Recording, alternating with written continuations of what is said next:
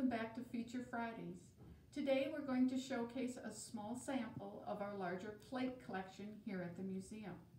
It seems that displaying plates has been around since the invention of dinnerware.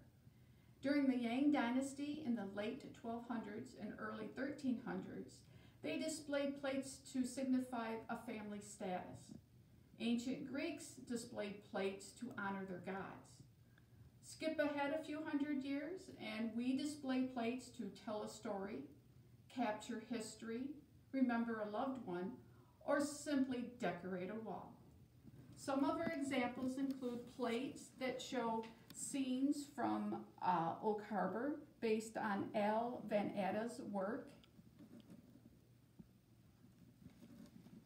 We have one that shows uh, views of Oak Harbor as well. This one dates to about 1905.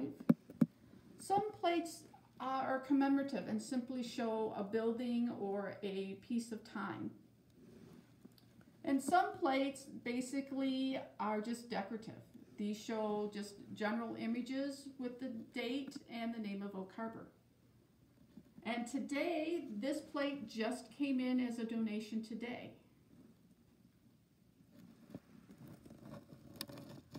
So please keep those donations coming here to the library. And the museum is open on Tuesdays and Thursdays by appointment. And can you believe next Friday is Christmas already?